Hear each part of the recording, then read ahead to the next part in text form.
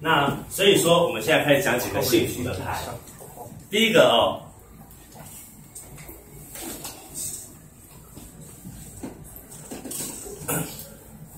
八字里面你们会常常听到人家说八字缺什么，对不对？缺金木水火土，对不对？好，那那个缺什么东西呢？我们在专业的用词里面就叫做用神。事实上，八字不是缺什么，而是要用什么。好，比如说一个八字里面它缺水，但是呢，因为它的土过旺，所以要用木来克它。哦，所以这个八字用神就是用木，这样听得懂吗？它缺即使缺了水、缺了火、缺了木，缺什么都不重要，重要是如果它的火过旺，我就用水去治它。所以最最重要是要用什么，而不是缺什么。那我们这个故事叫做“当高冷君遇上火爆妹”。哦，高冷君是谁呢？我们来看一下这个八字哦。各位看不懂没关系，但是至少你们可以看得懂什么颜色最多？水，蓝色最多，对不对？蓝这蓝色这几个都是水，看得懂哦。所以这个八字呢，这个人他就是水非常非常多的人，所以我把他取名叫高冷君。高冷君的意思就是这个人长得又高又冷，然后还是个男的，所以叫高冷君。那他的八字中水很多，记不记得我刚刚讲水多的人怎么样？圆滑，对，而且很很有智慧，很聪明。然后心里呢，他会把话藏着，不会讲出来。通常水多的人也比较容易容易忍耐，这样懂哦。好，所以说来看一下哦，水的人呢，水分成阴水跟阳水哦。那呃，癸是属于阴水，人是属于阳水哦。阴的水呢，就好像是我们在早晨起来的时候看到叶片上有那个露珠一样。露珠是很干净、很透明、很漂亮，对不对？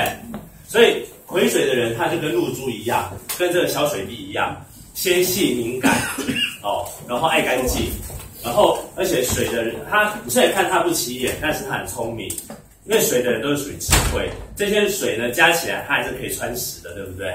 所以它是有力量的哦。所以水的容易适应环境，善于变通，哦，然后人际关系很圆融，身段很柔软，哦，这是水的优点。哦然后他的另外一方面就是说，他心里的话比较容易隐藏起来。为什么？因为他缺乏安全感，所以他喜他是会倾向于保护自己。哦，所以这是水的特性。然后呢，刚才那个格局哦叫阳刃格。呃，等下回去再跟你们讲什么叫阳刃格。阳刃格的人有一个特性，阳刃哦就好像一把指挥刀一样，能力强不强？很强，对不对？全世界最强的东西就是这把指挥刀了。哦，遇到什么无坚不摧啦，遇到全世界最强的盾，你可以把它砍掉，对不对？它就是呃，你就想象它就是全世界最强的的的那把刀，它可以砍掉所有的东西，所以它的能力很强，担当很强。但是有一个缺点，他就是容易野心过大，造成自己自己的的伤害。因为刀是一体一双面的嘛，哦，当你伤了别人的同时，也会伤了自己。所以通常阳刃格的人，他能力很强，但是他会有点浮夸不实的问题。所以，当你哦找到一个老公属于阳刃格的话，要注意一点，他很可能重视朋友比重视你还要多。他喜欢，而且事业上很喜欢，呃，谈很多很大的理想，哦，但是这些理想或许在你的眼中都会觉得比较不切实际。这就是阳刃格的特性。好，然后所以哦，你看这个为什么是阳刃格呢？因为，因为它这个是因为这个地方是，呃，劫财，这个这个水是。呃，它地这里藏的这个水是壬水是劫财，所以这个劫财透天干叫阳刃。这格局呃不是那么容易讲得很清楚，反正你可以记得，就记得就是说这个格局叫阳刃格啦。那为什么是这个格局？呃，系统课的时候我们再详细的讲。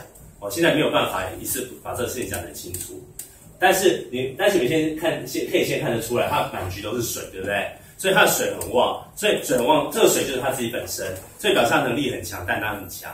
这个人，呃，我想一下，这个人他是个，哦，对，他是个老师。他是他如果是个生意人的话，他一定会把生意做得很大，但是赚钱不赚钱不知道。那他是个老师的话，你们可以想象，他这个老师在学校一定是个人际关系很好的老师。通常阳任的人哦，人际人际关系都很好，很能处理人际关系。然后在学校一定是担负起学校最重要职务的那种老师。然后不不不一定受到重视，因为可能做很多事情人家都不认可他，但是他就是会很主动去担当起各种责任。所以这个格局你可以看到他的他最大的特点就是，这是这我访访谈过他们子女，他们跟我讲很多属于他爸爸的故事。他说他爸爸呢能力很强，很有才华，基本上他就是个移动的百百移动的百科全书，基本上什么事情都懂。那他妈妈呢？因为他是水，对不对？他水很旺，对不对？他妈妈是，他妈妈是一个火爆妹。他妈妈脾气很坏，然后因为他八他妈妈的八字是火，你看这个是火，这是火，对不对？然后呢，这个是木，这个是木，这个是木，对不对？木可以生火，对不对？这么多的木去生火，你看他这个妈妈的火旺不旺？所以这个妈妈脾气很火爆哦，然后。还好他爸爸是水，所以他爸爸能够很融洽的去处理这个家里的人际关系，这就是所谓他们用神互补。刚刚的爸爸是八字中水太旺，对不对？所以他爸爸用神应该是属于火，取火来暖局嘛，因为他八字太阴寒了，所以应该用火。这个妈妈呢，反过来，他八字中火太旺，所以他八字要用水，对不对？所以你看他爸爸是不是需要火？刚好他妈妈的八字有火，对不对？他妈妈是不是需要水？他爸爸八字刚好里面有水，对不对？所以说，他们两个八字基本上它是互补的，性格上可以互补，这样子夫妻的关系就可以维持得好。然后呢，你可以想哦，他妈爸爸爸这么圆滑的人，做事情一定比较慢，决策比较慢，对不对？他妈妈刚好性格很火爆，什么事情他都会很快的做决定，所以他们两个刚好可以互相牵制，互相互补。然后呢，所以他他就说，他妈妈哦是一个很爱唠叨的人，然后脾气也不好的人。然后还有他爸爸呢，很能够包容他，哦，然后所以我们看一下后面哈，这个火呢，八他妈妈八字中火旺，火旺的人是怎么样？头脑很聪明，理解力很强，做事情很快，讲话很快，哦，所以通常火旺的人性格比较急，哦，但是你们以后注意一下哦，你们去看到人家八字，看到火旺的人，你千万不要讲他脾气很坏，人家就一定会跟你讲不准，为什么？因为没有一个人会容许人家说他脾气坏，所以你要换个说法，说你的脾气很急，他会说对。其实脾气坏分很多种啊，脾气很刚硬的算不算坏？也算嘛，对不对？他脾气很急的算不算坏？也算嘛，对不对？这两种坏不一样啊，对不对？所以他就说，你跟这个火的人，你跟他讲说你脾气很坏，他说不会啊，我什么事情我脾气过了就好了，我不会坚持己见啊。对不对？没错嘛，火就是这样子的人嘛，对不对？你跟那个金的人讲说，金的人是很刚硬的哦。你跟记者讲说你脾气很坏，他说我没有哦，脾气没有坏啊，我做事情我都是想清楚，我很有原则性的去做啊，就像一把刀子一样嘛，对不对？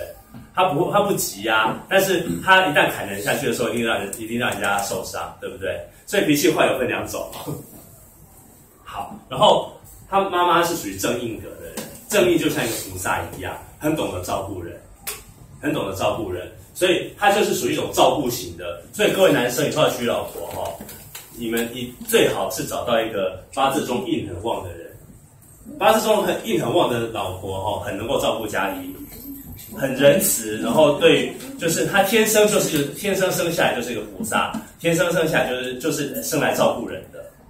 虽然会觉得他，虽然你会觉得他比较无趣，不懂得生活情趣，比较不浪漫，但是基本上他是很能照顾人的。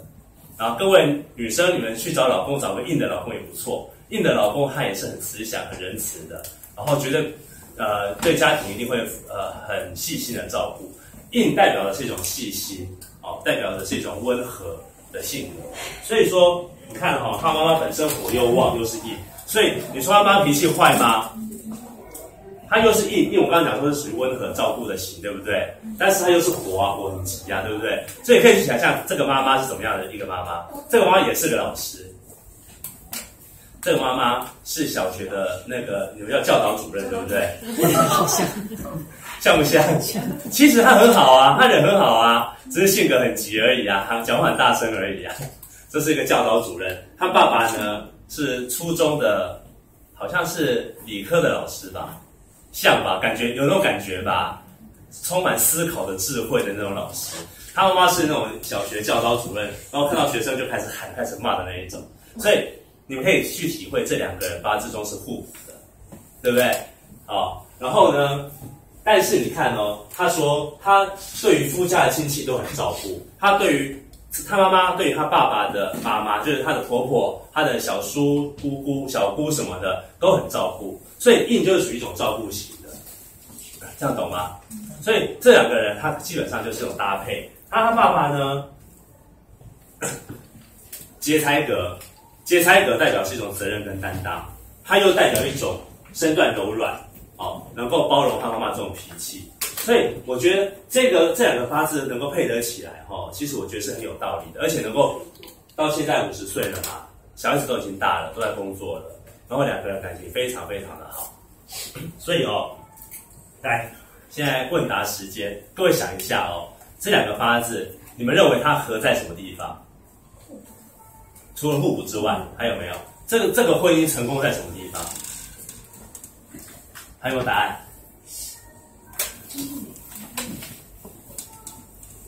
哦，运势吗？啊？难道是运势？运势啊，哦，这里我运势还没有讲到，因为它本身的局是很好的，所以运势我就运势后面才会这个比较没关系。有没有答案？用神。还有呢？你们不要去讲到很复杂的东西，你就讲感觉就好。其实学八字很简单，八字你就是把你自己本身融入那个情境底下，然后你去想想看，在那情境底下，为什么这个婚姻会好？一柔一刚。哎，好，谁讲的？一柔克刚。哎，果然是水聪明的。还有呢？只有吸引力。吸引力啊？为什么有吸引力？就是我觉得自我自己是一个很火的人，我比较喜欢那种很会说话的人，然后就是。很高冷的人哦，你本身是火的，所以你喜欢高冷的。对啊，所以这种本身就很合。就是它是一种吸引。啊，还有呢？智商匹配。智商匹配。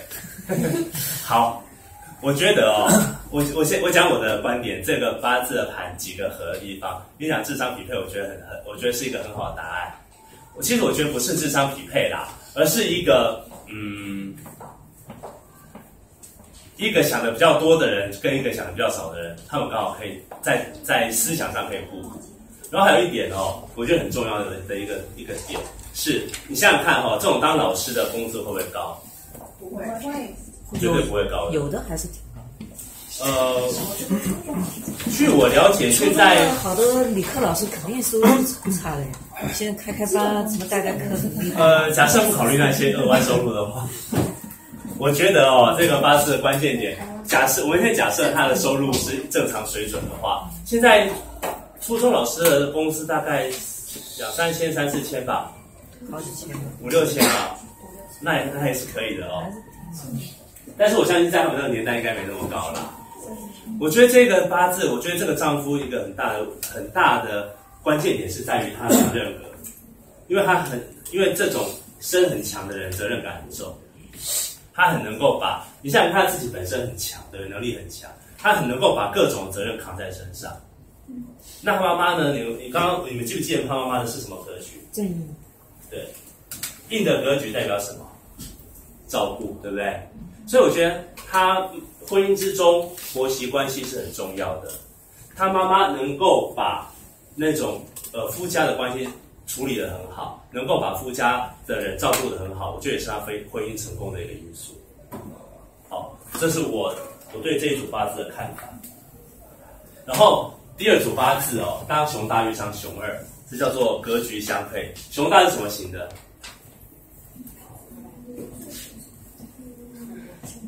你们有没有看过《熊出没》啊？没看过啊？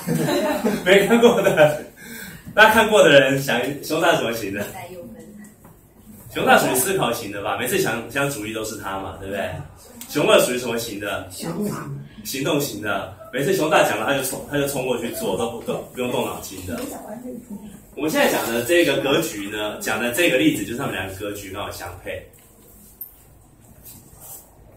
这个人哦叫深思男，然后就就如同熊大一样，你看这个八字哦。什么东西最多？金、土、金、金啊，这两个、这三个金，金最多。金是它的印，文化的印哦。印代表什么？我刚刚讲印代表照顾，对不对？印还代表思考。通常印很多的人，他很喜欢思考，不一定代表他很聪明，但是代表他，但是一定是很喜欢思考。很喜欢思考，不见得代表聪明，这点可以理解哈、这个爸爸就是一个很喜欢思考的爸爸，所以我就一看到这个八字，我就跟他说：“你老公一定是属于思考型的，属于研究型的。然后在单位里面呢，一定是属于那种做研发的，或者做技术的，或是去想去研究的。这种这种格局当什么最好？当老师最好，或当研究人员最好。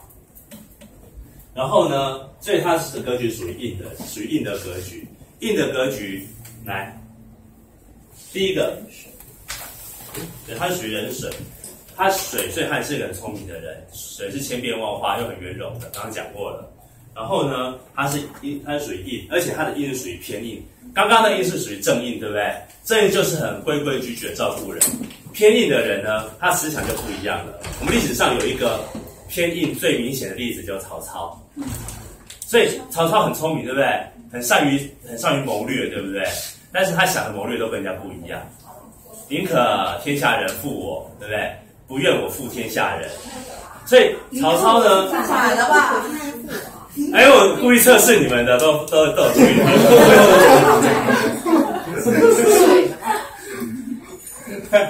所以，那偏硬的人呢，他就不按他也出牌，他很会思考，但是常会想到歪的地方去。然后，就像你我们有一个有一个艺术家叫梵高，对不对？他的作品到什么时候人家才认识才认识他的作品？死了之后，偏硬就属于这种人。所以哦，就想看，这个爸爸他是属于一个整天想东想西的人，所以呢，他妈妈就讲了一句话：这个人哦，善于思考，他是制定大计划的人，但是缺乏执行能力，懂吧？所以想一大堆有的没有的，然后缺乏执行能力。那这个妈妈呢？你们看到这个妈妈哦，她八字中什么东西最旺？火火火很旺，对不对？火是什么？行动正财，对不对？财财代表执行力跟行动力，财代表控制控制的欲望。所以我一看到这个八字，我就跟他妈妈这个这个妈妈说了，我说你们啊，在家里哦，什么事情一定都你说了算。他就跟我讲了一句话，他说呢，基本上我们在家里呢，事情不是我说了算，而是两个人共同决定。然后我就跟他说，对你讲这句话，我也理解你的意思。你讲这句话意思呢，就是说家里的大事呢是老公做主，小事呢你做主，但是基本上没有什么大事，对不对？来的人他掌控欲很强，控制欲很强，他什么事情他想要自己揽在身上，所以他在家里，你会想想看，在这个家里游戏规则谁制定？他制定。家里那个鞋子该该头朝头朝外头朝内谁规定？他规定，对不对？这些都小事嘛，对不对？今天该吃什么谁决定？也是他决定，因为这是小事嘛。那什么事情是大事？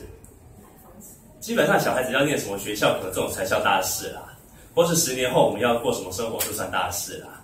这种长远规划大事交交给老公去决定。那这种老公，说实话，你们看他那个刚刚那个八字，你们也会感觉到这老公他也不喜欢去管这些细的事情。是这种老公，他就从头脑里面想的就是我要怎么样去有一个很大方向的一个未来生活的蓝图，对不对？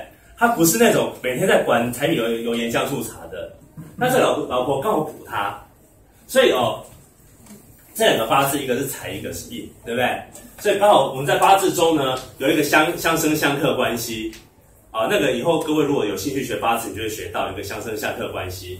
财刚好可以克印，财克印代表什么呢？就是一个埋头思索型的人，面对一个当机立断型的人，一个思考很多的人，面对一个呃行动力很强的人，这样听得懂吗？所以这是熊大跟熊二的搭配嘛。所以他们两个为什么可以成为好搭档？因为他们的格局是相配的。然后另外呢，财的人他控控制欲望很强，尤其是对于什么东西的控制欲望最强？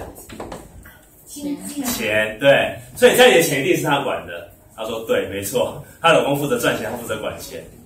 家里娶到一个这种老婆也很不错，她会帮你把家里的钱管得好好的，所有的一分一毫，家里所有支出绝对不会乱花，包括老公也拿不到钱，因为老婆是财嘛，老婆控制钱控制的很好嘛，所以老公基本上的老公的钱基本上也是被老婆老婆控制的好好的，然后财的人控制欲望比较强，所以说当你娶到一个财的老婆，啊，拜托你们乖乖的每天准时回家。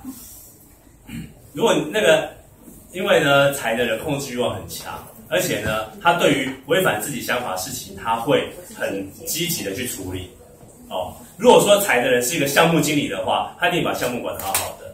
但是这个老婆呢，她就把家里当做一个项目来管，所以他就把家里什么事情的规则，然后所有的 follow up 都弄得很好。哦，今天该做什么事情，然后接下来应该怎么样，都弄得很好。如果娶个娶到一个财很旺的老婆，你如果晚回家的话，我肯定会转盘，因为老公也是属于他的计划的一部分。这样懂吗？哦，但我觉得财的人这种形象会特别明显。好，所以财的人哦，就是属于我拿两个铜钱来代表他。财的人呢，就是很保守、很很固执、很简约，然后属于他是属于遵循性的人，所以他喜欢过着安定的生活。哦，这是属于财的一个特性。所以说哦，我们刚刚讲了两个例子，对不对？那两个例子之中，除了用神相配跟格局相配之外，你们还看到什么样的特点、共同点？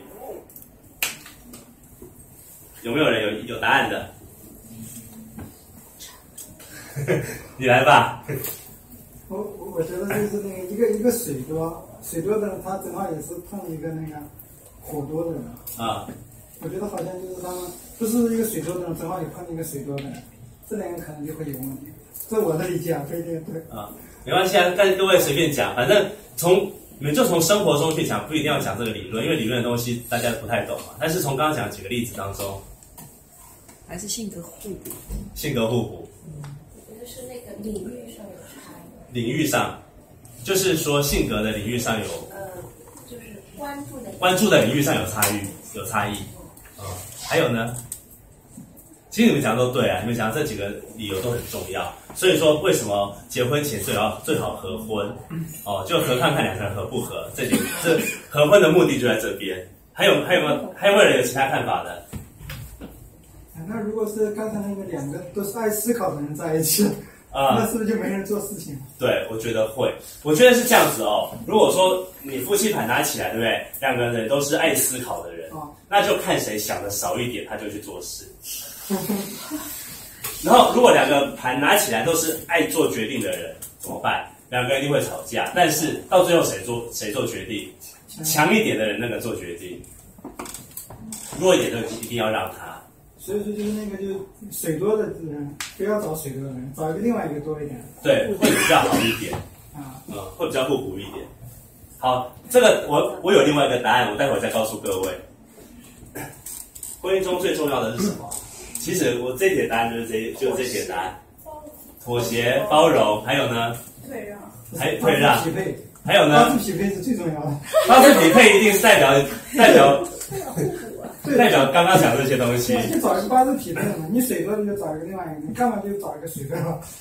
还有没有别的答案？妥协、包容，还有什么？相处互补相处，保持一致，呃，就三观一致嘛，可以这样说。还有，我觉得运气很重要。运气后运气后面会讲到，压轴的那个例子就跟运有关。好，九十九朵鲜花很重要吗？有的时候对有有的时候很重要。然后这句话是我最我经常在微信朋友圈看到的，那个就该给我钱花。这句话我是觉得，呃，我本我本身是觉得极端的不认可啦。那其实从我所看过所有例子中，也呃也没有一对成功的夫妻是跟这个跟这件事有关的。嗯，然后所以怎样的人是好老公，怎样是好老婆？你们答案呢？都不一样嘛，跟不一样不一样的人不一样，合适的人才是真的。但是我觉得有一合适的人就是好老公、好老婆。比方说互相尊重。啊、互相尊重，对。但是好，所以说哦，我们从刚刚的八字盘里面，你们刚刚讲的包容、理解，对不对？呃，那些因素都存在，但是这些光是这些因素，它不足以造成一个婚姻的稳定。其实从刚刚那几个盘，我觉得有一个很重要的因素，你们可能没有注意到，你们没有看到做不了，啊，就缺缺你不可。缺你不可。就是哦，对，就这婚姻里面少了你就不行，对不对？你做我不能做，你会做的事我好，所以哦，我现在你们刚刚答案都讲出来，对不对？你们答案都讲了嘛？哦，那我现在问你们一下哈、你们想想看一个问题哈、呃，婚姻中啊、譬如说，呃，好比是说，呃，两个人性格互补很重要，对不对？有没有两个人性格很互补的离婚的？有有肯定有。有啊，八字中，呃，那个婚姻中包容很重要，对不对？理解、互相理解跟互相包容很重要，对不对？有没有两个人互相理解而离婚的？有啊，有嘛？还是有嘛？还是有嘛？对不对？那婚姻中有时候鲜花很重要，钻石很重要，对不对？有没有人鲜花九百九十九朵还离婚的？有有啊，对不对？那到底什么因素让他不离婚呢？我现在要问的问题就是这一个。财产分不了，财产分不了，那有人不要财产了，有人还净身出户不要财产，还有别的答案？责责任感，这就是我要的答案。责其实任感，，对，就是责任感。其实你们，其实你们从刚刚那几个盘中，刚刚那两个盘中，我们刚刚除了讲用神互补、格局互补、格局相配之外，其实你会发现这两个盘都带有一种很强的特性，就是责任感很重，对婚姻很有担当的责任。有没有发现？第一个盘，第一个盘，那个呃，初中的理化老师、理科老师配国小的教导主任，你们记你们看你们记不记得那个那个教导主任他的盘是杨任格，那种也是属于一种担当很强的盘，对不对？他对家庭很有担当。教导主任是正义正义嘛？硬格硬格的也很好，因为它是属于一种照顾型的盘，所以责任跟照顾其实是维系一个婚姻中，我觉得是一个非常重要的因素。嗯，而且你有没有听过有婚姻中因为责任很强而离婚的？没有嘛，对不对？有没有人听说过有一个婚姻中因为对对方父母很照顾而离婚的？或者是说对对方父母很照顾，但是还不幸被离婚？有没有这一种？有可能少一点，对不对？还是有的啊，那种叫不幸嘛，对不对？但是那种他一定是遇到老公不好，老公一定是没担当的老公。他如果遇到刚刚那个初中老师，他应该是就不会离婚了，对不对？所以，我们刚刚第二个盘是那个熊大跟熊二嘛，对不对？然后那个熊大跟熊二，其实他们两个，你你也可以看到，一个是财，他关键是他老婆是财，财也是属于就是项目经理型的嘛，他把家当做一个项目在经营了，对不对？所以你一旦把家当做一个项目在经营了，这个婚应该也很难离得掉，懂这意思吗？所以我先这这几个想一想，我的答案就是第一个答案是什么共同特点，就是照顾跟责任啦。然后第二个最重要是什么？还是照顾跟责任。然后怎样的人是好老公？责任。那怎样是好老婆？哎，对，你们都知道了，这就是我的答案。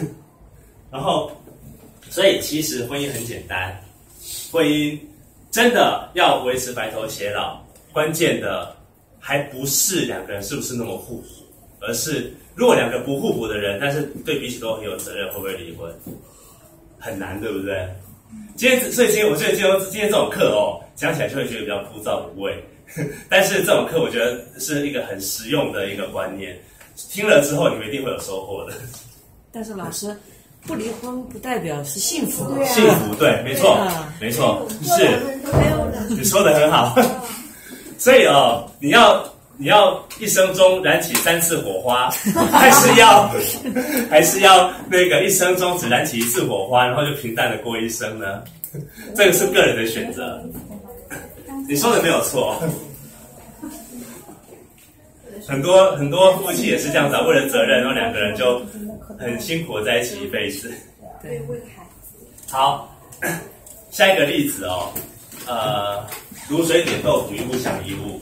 他的那个小孩告告诉我一句话，他我就先把先把结论讲出来了。他说：“我爸这样的性格呢，如果不是我妈这么沉得住气，早就过不去了。”这个例子是很像刚刚的第一个例子？一个是水很旺，一个是火火很旺。好，所以我们来看一下他们的八字哦。